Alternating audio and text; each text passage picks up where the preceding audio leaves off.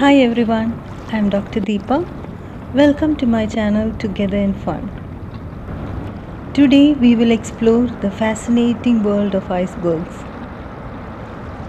Icebergs are pieces of ice. They come in all shapes and sizes, from ice cube sized chunks to ice islands the size of a small country. Icebergs are formed when ice break off from glaciers, ice shelves, or a larger iceberg. Icebergs serve as tools for scientists to learn more about climate and ocean process. By studying the factors that cause icebergs to break up, researchers hope to better understand the influences that lead to ice shelf breakup and to better predict how ice shelves respond to warming climate. Oceanographers follow icebergs because the cold fresh water they contribute to the sea can influence currents and ocean circulation far away from their origins. Biologists study icebergs to find out how they influence ocean life.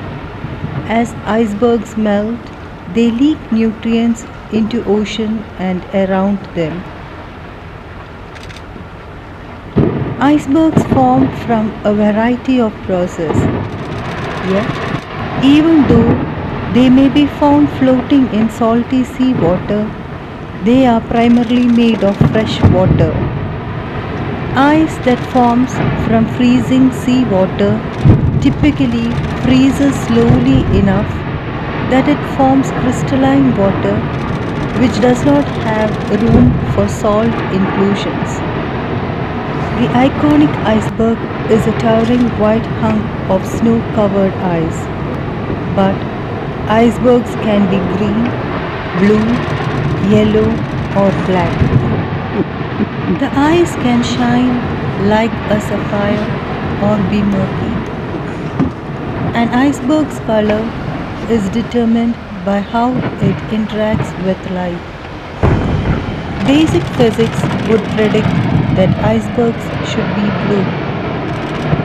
That's because pure ice that's frozen water, which is free of contaminants, absorbs longer wavelengths of visible light more effectively than shorter ones. Thick slab of pure ice would filter out red light and blue would reflect back toward our eyes, making the ice appear blue. Why then is the iconic iceberg white?